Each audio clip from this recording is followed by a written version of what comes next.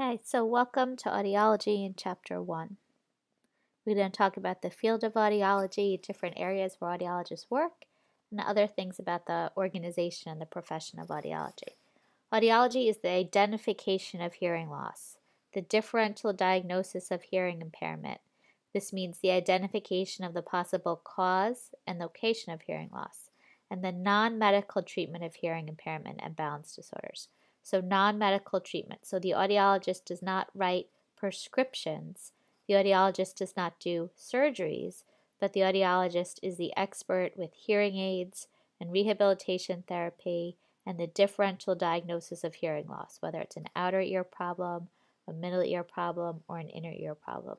So the audiologist is going to work with the otologist or the otolaryngologist, the medical ear doctor, just like a optometrist, the person that gives you contacts and eyeglasses, works with an ophthalmologist, the medical eye doctor. You now need a clinical doctorate. So, a clinical doctorate is the AUD. A lot of other professions have also done this. There's the physical therapy doctorate, an occupational therapy doctorate, a pharmacy doctorate, so this is a clinical doctorate degree, the AUD. There are three years of coursework, followed by a fourth year externship. So in your three years of coursework, you're going to do hearing and speech science, anatomy and physiology, some speech pathology, counseling, electronic and computer science, diagnostic and rehabilitation services, and just like with speech pathology, how you do a CFY year, your fourth year is pretty much your CFY year, and most of them are paid, which is a good thing. So your fourth year residency is equivalent to the speech language pathologist's clinical fellowship year, their CFY year. It's often paid or a stipend, and you can. It's like um, a medical residency, so you could go anywhere in the country to do this.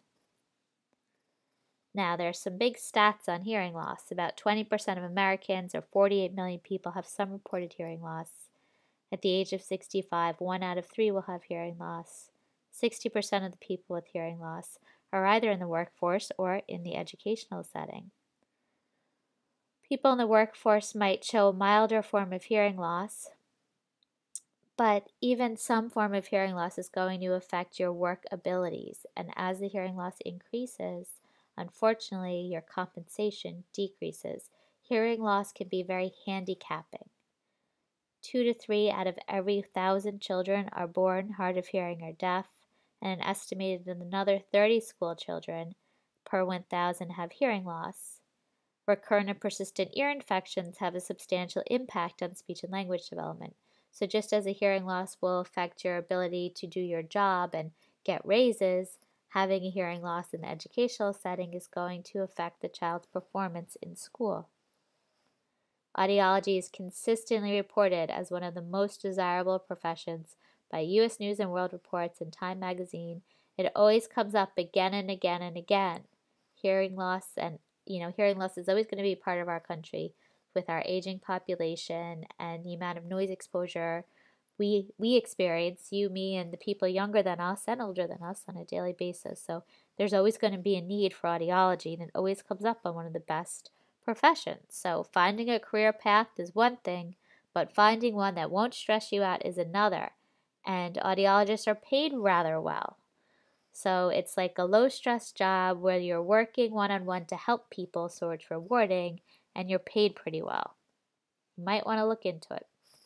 The different fields of audiology include medical audiology, working for hospitals, physicians, or nursing homes, educational audiology, working for deaf or hard of hearing, doing auditory training, speech reading, talking about hearing loss prevention programs, pediatric audiology, working with children and cochlear implants, industrial audiologists, working to design hearing conservation programs, measure noise levels, monitor employees' hearings, and finally, these are our professional organizations. So there's ASHA and then the American Academy of Audiology. Back when audiology and speech pathology first became um, professions after World War II, there was ASHA was very balanced between the hearing side and the speech side. But as time has gone on and more and more speech pathologists has entered the schools, um, they've the ASHA has become more dominated by speech pathologists. So about 20 years ago, an audiologist group broke off to make their own organization because they felt that ASHA wasn't meeting their needs. So that's the American Academy of Audiology. Now, the two groups often work together. There's also, us in New York State, the New York State Speech Language Hearing Association and the Alexander Graham Bell Society, which is great for auditory verbal therapy.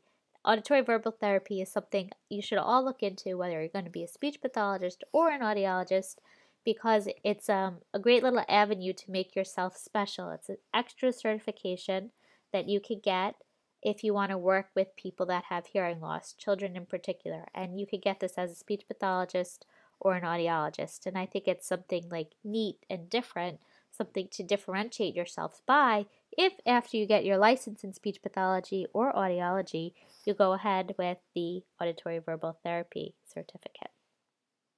And that's provided through the Alexander Graham Bell Society.